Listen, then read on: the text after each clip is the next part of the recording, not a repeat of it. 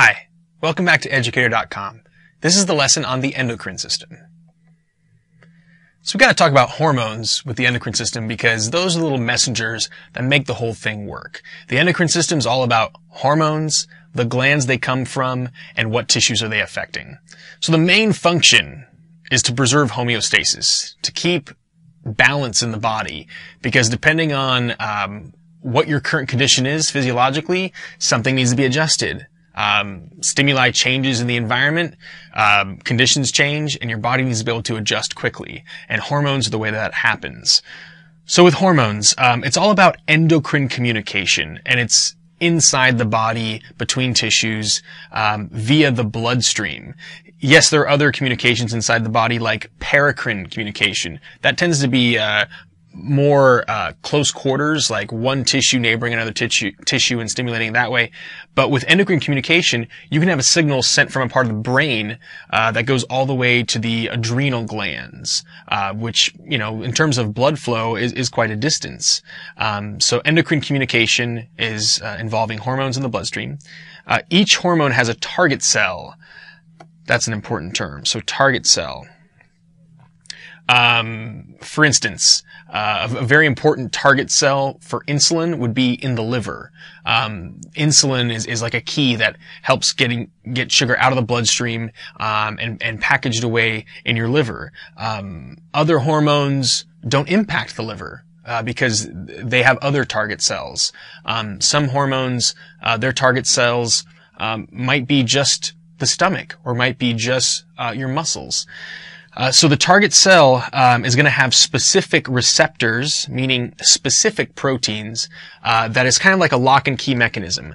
Um, so think of the key as being the specific hormone, and the lock corresponds to that hormone shape and that hormone structure. And then other cells don't have that particular lock, so that hormone's going to just drift by them and not dock on them and affect them the same way. Uh, so endocrine glands are the specific tissues or or organs uh, that actually produce hormones. And in terms of uh, the structure of hormones, what they're made from, there are uh, three main uh, classes of hormones.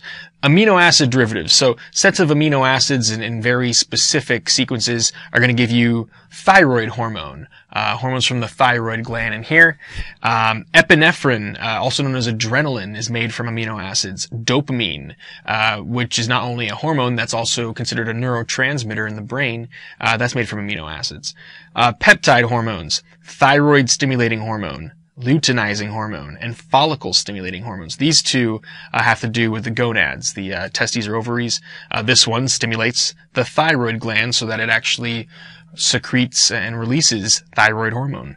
And then there's lipid derivatives, so made from fat. Uh, androgens and estrogens, the sex hormones androgens associated with males, estrogens more associated with females. Those, uh, without fat in the body, you're not going to be able to produce those.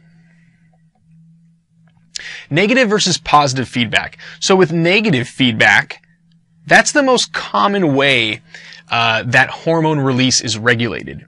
Um, basically, what happens is it's kind of like a thermostat. That's that's the uh, that's the analogy that I think is best for this. So think about a thermostat. Um, let's say you set the thermostat to 72 degrees uh, or, or 20 degrees Celsius. Okay that thermostat is going to cause release of cold air up to a point. So cold air is going to, re- release cold air, cold air, cold air. And then eventually the thermostat, thermostat rather is going to shut off that cold air. When will it shut it off? When you finally get to 72 degrees Fahrenheit or, or 20 degrees Celsius.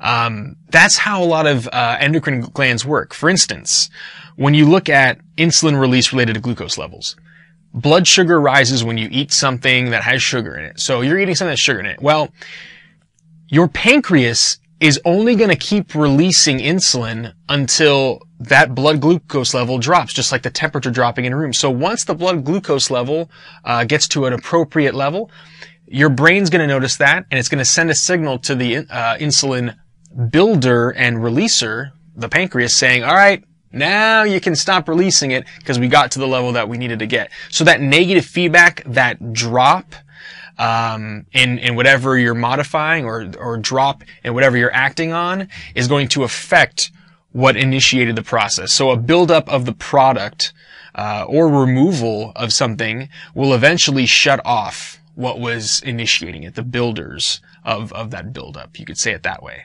Uh, so just remember the thermostat. Uh, it's very similar to how uh, insulin gets sugars out of the bloodstream. Positive feedback, not as common, uh, because with positive feedback, it's a buildup of the product further stimulates it to like keep happening. Uh, so it just adds and adds and adds and adds and adds uh, to a point. Um, so buildup of the product further enhances the production. Um, one example is labor pains in relation to delivering a baby. So um, hormones stimulating uh, the uterine muscles uh, to to get the baby out gradually. That's going to keep happening. Um, you know, labor early on, not quite as intense as labor uh, further along. Um, also, uh, the the piling on of platelets when you have a, a, cut, some kind of laceration in a blood vessel, the piling on of platelets, they keep attracting more and more and more platelets uh, until it's sealed. Uh, that's positive feedback. And also, um, I've read that orgasms have a lot to do with uh, positive feedback. Negative feedback, much more common in terms of uh, regulating hormone levels.